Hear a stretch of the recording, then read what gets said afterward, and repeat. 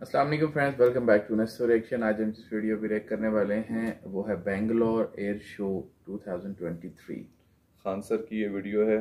इस वीडियो का original link आपको टॉप ऑफ़ द डिस्क्रिप्शन में मिल जाएगा। प्लीज़ उसको चेकआउट कर लीजिएगा और अगर आप हमारे चैनल पर नए हैं या अभी तक आपने इस चैनल को सब्सक्राइब नहीं किया तो प्लीज़ सब्सक्राइब कर दें। बेल आइकन के बटन को ज़रूर प्रेस कीजिएगा ताकि हर नई आने वाली अपडेट आप तक सबसे पहले पहुँच जाया करे। खान सर की वीडियो में वो काफ़ी अच्छे से एक्सप्लेन करते हैं किसी भी चीज़ को।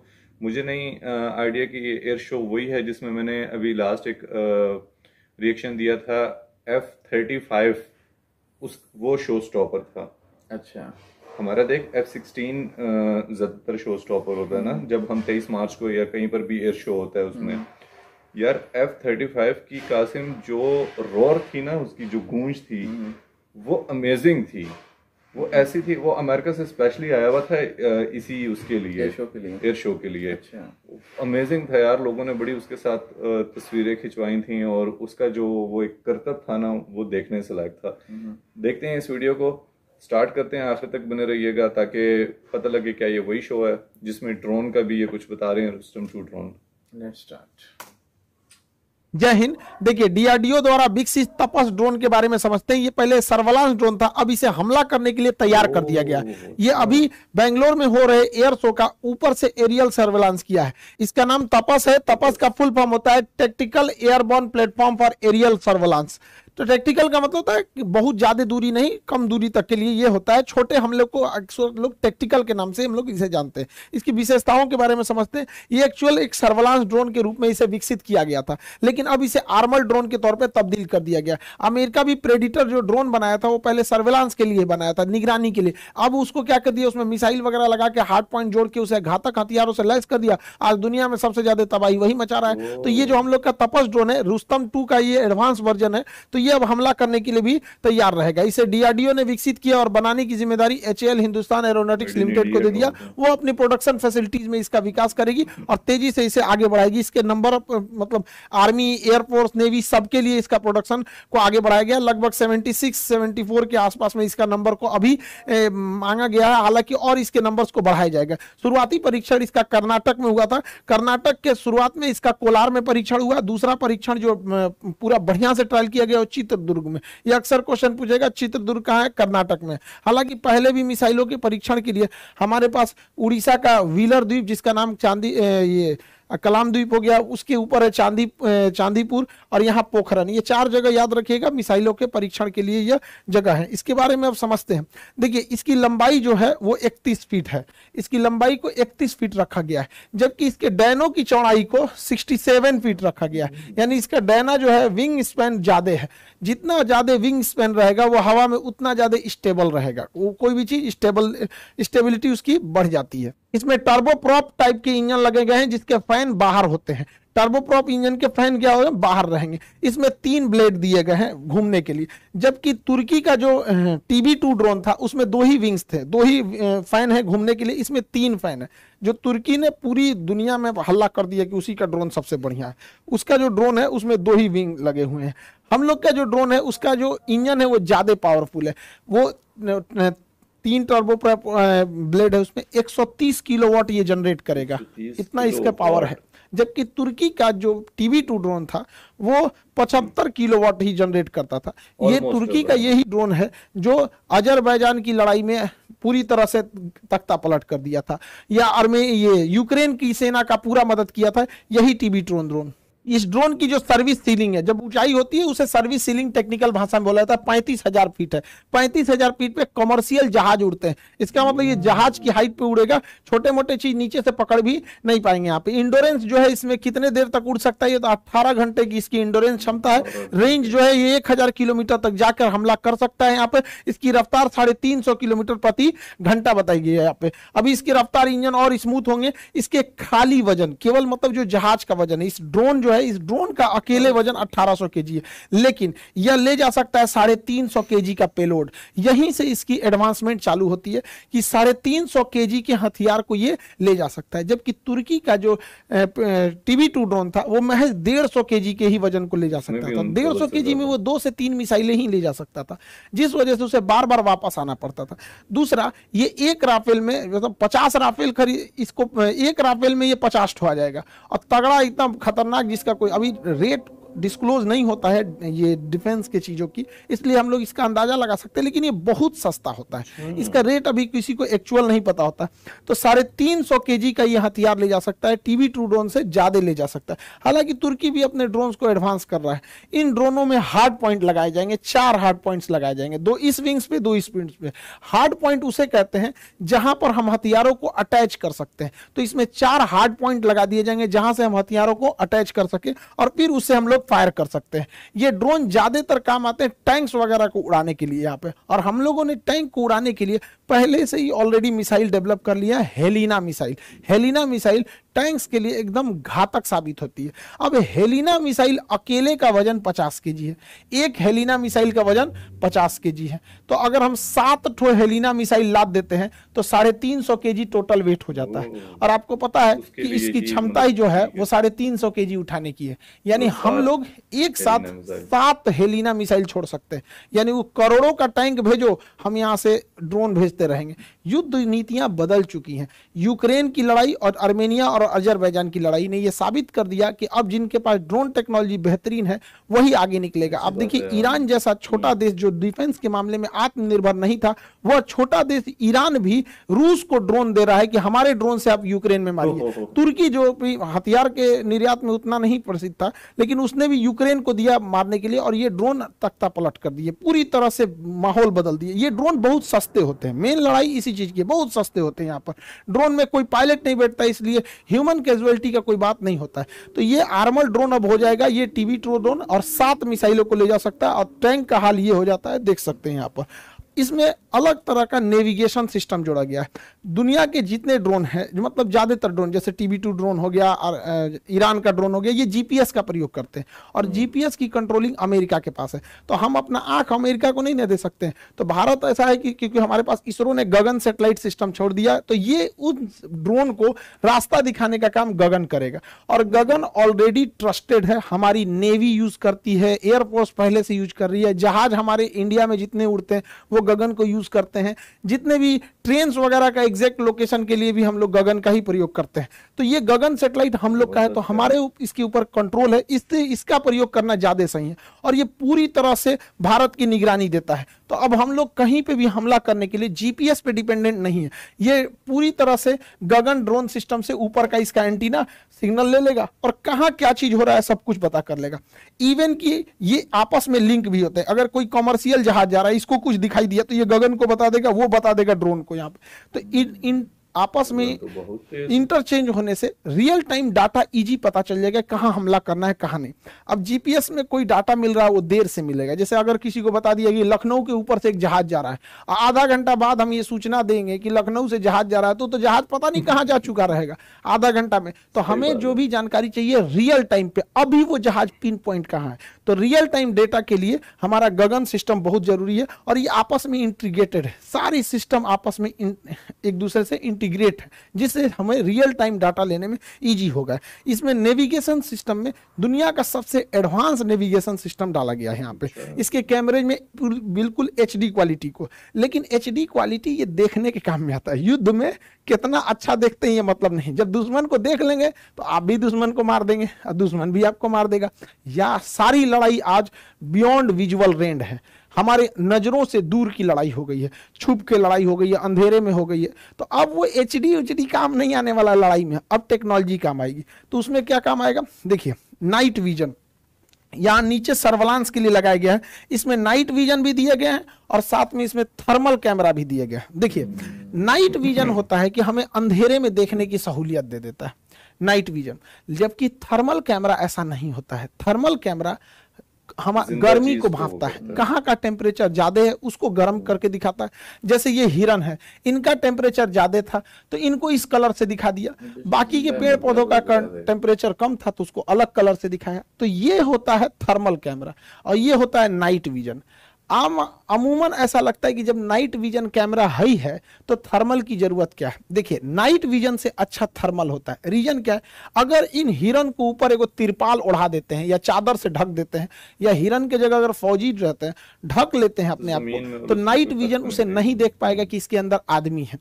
और यही काम आ जाता है थर्मल कैमरा। अगर आप इनके ऊपर चादर से ढक भी देते हैं तो इनके बदन की गर्मी थोड़ी ना खत्म हो जाएगी। तो ये गर्मी को पहचानता है। इसलिए थर्मल कैमरा ज़्यादा अच्छा होता है ये, क्या नाम है, डिफेंस के मामले में नाइट विजन से। लेकिन कब किसकी ज़रूरत पड़ रही है तो नाइट विजन में भी देख लेगा, दिख रहा है। थर्मल में भी देख रहा है, एकदम एक्यूरेट पता चल जाएगा। तो ये दोनों सिस्टम इसमें लगा के दिया गया है। हमारे तपस ड्रोन में निगरानी, इसके जो नेविगेशन सिस्टम है, ये बहुत बेहतरीन है।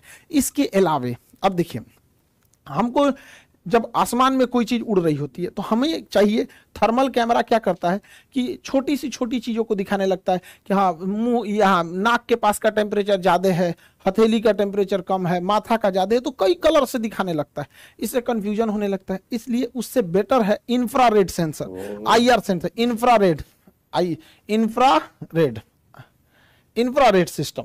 Infrared system में क्या होता है इसमें कंप्यूटर में सेव कर दिया जाता है कि ज़्यादा टेम्परेचर को दिखाना है, बाकी को काला कर देना है। तो अगर इसमें सेट कर देंगे कि 400 डिग्री सेल्सियस को दिखाना है तो देखिए कोई भी जहाज़ चलेगा तो उसका इंजन 400 डिग्री सेल्सियस होता है। या इसमें सेट कर दीजिए इसके सिस्टम में कि 200 डिग्री सेल्सियस से टेम्परेचर ज़्यादा रहेगा तो ही स्क्रीन पे दिखाना, अदरवाइज़ में मत दिखाना। तो इसका पूरा स्क्रीन काला दिखता है। इस टाइप का काला दिखेगा। लेकिन जहाँ टेम्परेचर ज़्यादा आया 200 डिग्री सेल्सियस से तो जहाँ जहाँ उसको ज़्यादा दिखेगा, वहाँ वहाँ का डिज़ाइन बना देगा। तो देखिए, जहाँ जहाँ टेम्परेचर इसको ज़्यादा दिखा, उसका डिज़ाइन बना दिया, पता चल गया इस पूरा जहाज़ है, बाकी पूरा ब्लैक रहेगा। समझ में आ गया कि नहीं? इसमें देखिए, यहाँ टेम्परेचर ज़्यादा, यहाँ ज़्यादा यहाँ ज़्यादा, यहाँ ज़्यादा तो उसी उसी हिसाब से बना देगा। तो इसका स्क्रीन है पूरा ब्लैक रहता है। इंफ्रारेड वाले में यही खास है पूरा स्क्रीन ब्लैक अब जो आ गया सीधे मारो। जो आ गया मार दो यहाँ पे। तो इस पे इससे भी अटैक करने में इजी हो जाएगा यहाँ पे।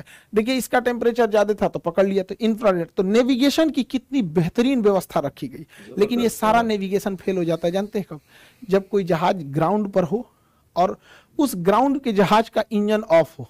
तो पकड़ना काफ़ी मुश्किल होता है। तो अभी के समय में सबसे एडवांस टेक्नोलॉजी है वो है synthetic aperture radar synthetic aperture radar कैसे काम करता है? उस सिस्टम को भी इसमें दिया गया है सिंथेटिक। अपर्चर रडार को.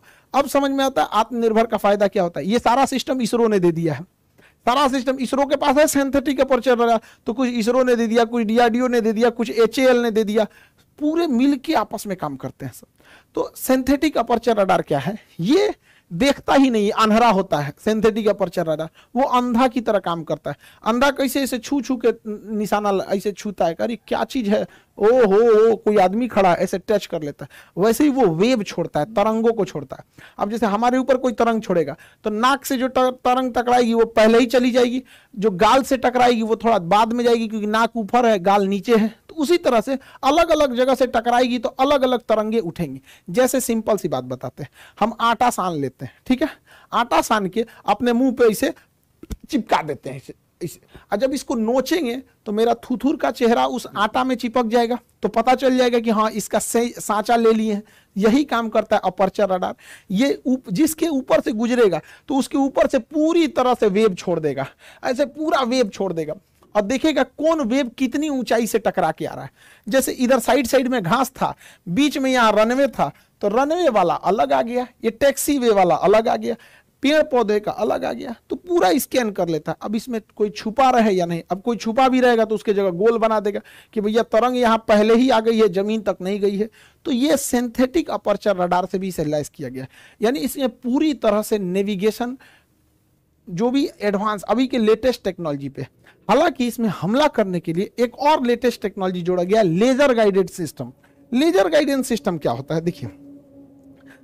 जमीनी लड़ाई में आप फौज को नकार नहीं सकते चाहे जितना भी टेक्नोलॉजी आ गया। फौज वहाँ खड़ी रहती है। कई बार फौज को दिख जाता है कि वहाँ दुश्मन का तोप है, वहाँ दुश्मन का टैंक है, वहाँ दुश्मन का बस जा रहा है ट्रक जा रहा है। तो वो फ़ोन करेंगे, अरे, दुश्मन का ट्रक उधर गया है, आओ आओ आओ आओ।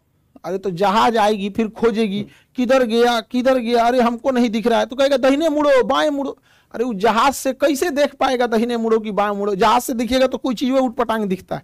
समझ में नहीं आएगा। तो यही काम आता है लेजर। जैसे देखिए यहाँ एक आदमी लेजर मशीन लेके खड़ा रहेगा। इस साइड में लेजर मशीन लेके खड़ा हो जाएगा। ये लेजर मशीन से दुश्मन के टैंक के ऊपर वो लेजर लाइट चलाएगा। अब लेजर लाइट दिन में किसी को चला दिखा दीजिएगा तो उसको क्या समझ में आएगा? तो इस बेचारे टैंक को कुछ पता ही नहीं है। दुश्मन का ये टैंक है। इसको कुछ पता ही नहीं है कि इसके ऊपर किसी ने निशाना भी लगाया है। एक्चुअल में इस पर तो निशाना ही नहीं लगाया है। उसने तो इस टैंक के ऊपर केवल एक रोशनी छोड़ी है लेजर की रोशनी। अब ये लेजर रोशनी यहाँ बिखरने लगेगी। जैसे यहाँ बिखरेगी, अब ये तर, ये बिखरेगी तो तरंग बनेगा। और इसे रडार से पकड़ लिया जाएगा कि यहाँ पर कोई ना कोई हलचल हो रहा है।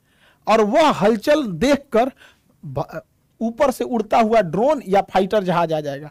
और वो समझ जाएगा ओ भाई साहब हलचल कहाँ हो रही है? तो इसी पर बम गिरा दो। गिरा देगा इसी के ऊपर।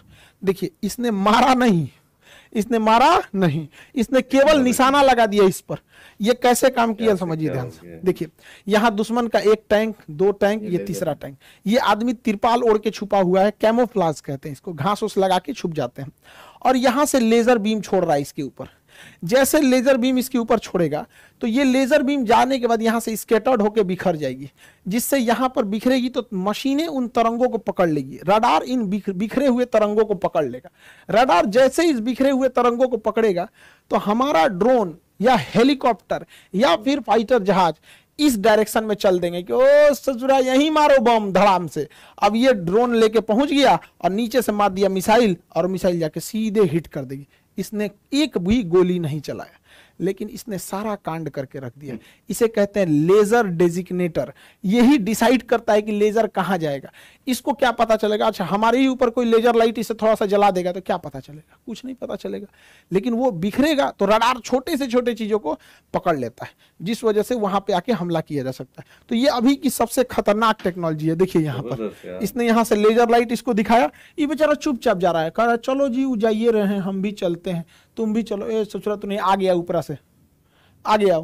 क्योंकि इसकी लेजर जहाँ पे निशाना लगा रही होती है, ये तुरंत जानकारी सेटेलाइट को दे देती है। सेटेलाइट जहाज़ को दे देती है और जहाज़ आके इसको मार देता है। तो आज का जो सिनेरियो है लड़ाई का वो कंप्लीटली चेंज हो चुका है। तो तपस ड्रोन अब सर्वलांस नहीं रह गया बल्कि अब यह हमला करने के लिए तैयार हो गया है। डिफेंस के सेक्टर में जो भी चीज़ें नहीं होती उसको याद रखते रहिएगा क्योंकि अब साइंस एंड टेक्नोलॉजी के सेक्टर में क्वेश्चन पूछने का दायरा बढ़ते गया है। बीपीएससी का एग्ज़ाम हो गया मेंस की क्लास चालू भी हो गए हैं सोलह तारीख से मेंस स्टार्ट हो गया। ऑफलाइन में हम लोग लिमिटेड ही लड़कों का एडमिशन ले सकते हैं क्योंकि ऑफलाइन में अब जगह नहीं बचा। ऑफलाइन का हमारे पास भी एक लिमिटेशन है बाबू समझिए कि हम कितने लोगों को ले सकते हैं। कुछ को ले सकते हैं एडमिशन बाकी लोगों को हम ऑनलाइन ही पढ़ा सकते हैं। तो कोशिश करेंगे लोग ऑनलाइन ही ले लें। बीपीएससी के जितने लड़के लोग थे अब पूरी तरह से डेडिकेटेड होकर आप जुट जाना है मेन्स पर। और मेन्स में जो तीन सौ नंबर का निबंध है वो पूरा प्रॉपर क्लास होगा। आपको धर्मेंद्र सर पूरा क्लास लेंगे निबंध का। और वो क्लास आपको प्रॉपर दो महीने से तीन महीने के टाइम में लगेगा, उसको कंप्लीट करने में। फिर आपको मेंटरशिप में दिया जाएगा, आप हमारे ही गाइडेंस में पढ़ सकते हैं। ऐसे नहीं कि रैंडमली जैसे भी पढ़ना होगा, वैसे पढ़ेंगे। तो ये तो बीपीएससी का हो गया? बीपीएससी में हम लोग ऑफलाइन में लगभग एडमिशन क्लोज है, क्योंकि जगह नहीं है। तो ऑनलाइन ट्राई करेंगे लोग। ठीक है? बाकी जो पटना में रहते हैं, उन लोग के लिए गाँव वाले लड़के ऑनलाइन ऑफलाइन आप जैसे पढ़ने वालों का कहीं से भी रिज़ल्ट हो जाता है। एमपीपीसीएस वाले लड़के, मध्य प्रदेश एमपीपीएससी आप लोग को लिए भी अब बहुत गुड न्यूज़ है। आप लोग भी अपना अपना आके एप्लीकेशन पे अपना बैचेज ले सकते हैं। प्रीलिम्स के लिए मेंस के लिए दोनों बैच अवेलेबल है, मध्य प्रदेश पीसीएस वाले। एप्लीकेशन में जाइए, वहाँ देखिए, बिल्कुल नॉमिनल फ़ी में सबसे बेस्ट टीचर के साथ आप पढ़ेंगे, मध्य प्रदेश पीसीएस और हर जगह ये साइंस एंड टेक का क्वेश्चन आते रहता है। इसलिए आप आप चाहे यूपीएससी हो या स्टेट पीसी हो अब सब भी जगह अब आपको एकदम डिटेल से पढ़ना है। आई होप आप इस टॉपिक को समझे होंगे। मिलेंगे नेक्स्ट क्लास में। जय हिंद। ज़बरदस्त यार टेक्नोलॉजी देख कहाँ से कहाँ चलेगी ये दुनिया की ना। हम्म। और उसमें ये था ना कि जीपीएस के लिए अमेरिका की वो होती थी ना उनकी सैटेलाइट से लेना पड़ता है हाँ। इन्होंने अपने भेज इन्होंने अपनी सैटेलाइट से ही वो सारे सिग्नल वो कह रहे हैं कि वो चालू भी है मतलब हमारे जितने भी रेलवेज के हो गए या फिर एरोप्लेन जो दूसरे कमर्शियल फ्लाइट्स भी जाती हैं वो उनसे जीपीएस वो करती हैं और इसमें कैमराज बहुत अच्छे लगाए गए हैं हम्म। सारा कुछ ज़बरदस्त है यार ड्रोन मतलब वो टर्की के ड्रोन से भी ये कह रहे हैं बहुत ज़्यादा अच्छा है। और लोड कैपेसिटी भी इसकी बहुत ज़्यादा है। डबल से भी ज़्यादा। डबल से भी ज़्यादा है। तो अमेजिंग है यार। 350 हाँ। और का 150 150 डबल से भी ज़्यादा। और इसकी कॉस्ट सबसे कम आती है। कॉस्ट बहुत कम आती है। देख एक एक जो एक फाइटर जेट से तो डेफिनेटली बहुत ज़्यादा बहुत कम आती है। और उसकी जो मेरे ख्याल से रिपेयरिंग या उसकी मेंटेनेंस कॉस्ट भी बहुत ज़्यादा होती है। डेफिनेटली और एक चीज़ और भी इसमें फ़ायदा होता है वो ये होता है कि एक पायलट को तैयार करने के लिए जो फाइटर जेट को उसको देख कितने साल की ट्रेनिंग दी जाती है और उस पर भी काफ़ी ज़्यादा एक्सपेंस आता है। ऐसे ही जबकि इसमें जब आपने टेक्नोलॉजी सारी बिल्ड कर दी है तो वो खुद ब खुद जो है उसको वो जाएगा और इन जैसे एक कहा कि जो इंसानी जान है उसका भी कोई डर नहीं है कि यार वो बीच में उसका कोई नुकसान हो सकता है। हम्म।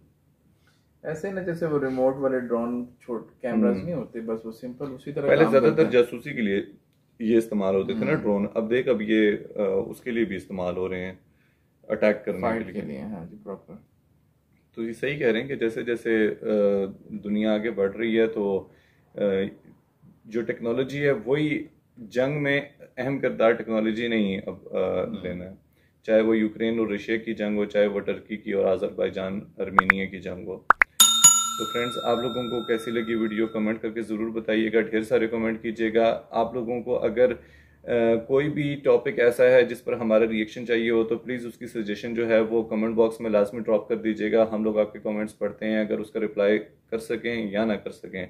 आप लोगों को वीडियो कैसी लगी ये ज़रूर बताइए अगर वीडियो पसंद आई हो तो प्लीज़ वीडियो को लाइक कर दें। चैनल को सब्सक्राइब कर दें बेल आइकन के बटन को ज़रूर प्रेस कीजिए ताकि हर नई आने वाली वीडियो आपके पास सबसे पहले पहुँचे। मिलते हैं आपसे नेक्स्ट वीडियो में। Take care